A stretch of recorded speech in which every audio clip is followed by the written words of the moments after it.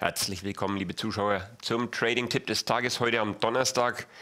Ja, an der Börse sorgt Donald Trump mal wieder für höchste Nervosität. Die Kurse fallen, nachdem er neue Importzölle auf chinesische Waren angekündigt hat.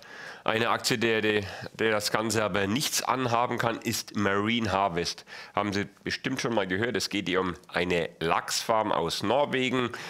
Ja, klingt äh, relativ unspannend, aber wenn man sich den Chart anschaut, dann ist hier doch, doch äh, ja, richtig Momentum drin. Wir sehen es im, im Hintergrund eingeblendet. Die Aktie in den letzten Tagen massiv nach oben unterwegs. Wir haben den Widerstand bei 18,50 Euro nach oben gebrochen, auf ein neues Allzeithoch gestiegen. Ja, und die Aktie hat richtig äh, Dynamik. Äh, hier nochmal ein Rückblick. Die Unterstützung bei 17 Euro wurde erfolgreich getestet, anschließend wieder eben in den Vorwärtsgang geschaltet und jetzt sind wir auf dem Weg in Richtung 20 Euro.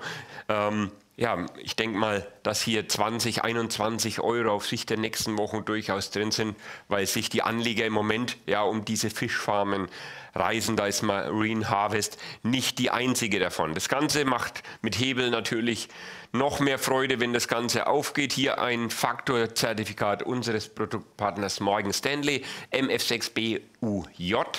Aktueller Kurs 14,07 Euro, Faktor 3.